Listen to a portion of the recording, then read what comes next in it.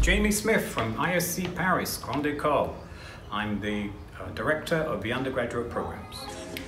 Here in Paris, we have a broad portfolio of programs. We have the Grande École, the bachelor degree, we have MBA, DBA, and MSCs, all of which you can study in English. We've been very proud recently, uh, both for students and the faculty, as we've moved our programs online. And I think this shows an engagement in the school and also reflects our mission and values, which includes uh, change leadership, resilience, and openness.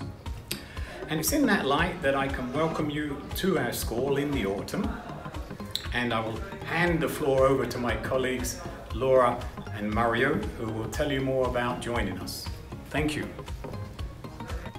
Thank you, Jamie. I am Laura Valendra, and I'm here to help you during the whole application process.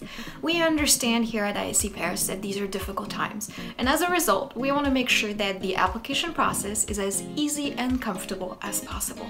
The whole application can be done on our website, and then you will do a motivation interview on Skype. Very easy, you do not have to go out of your house, you do not have to travel, you can do it all in the comfort of your home. I will be here to help you during the whole application process, and once you're registered, my colleague Mario will be the one that's in charge of welcoming you whether it's online or on campus.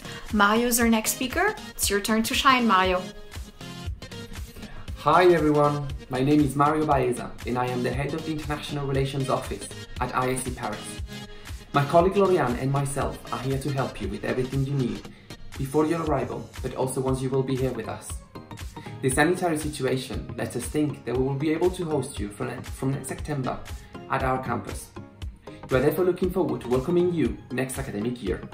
In the meantime, please take care and stay safe. Bye!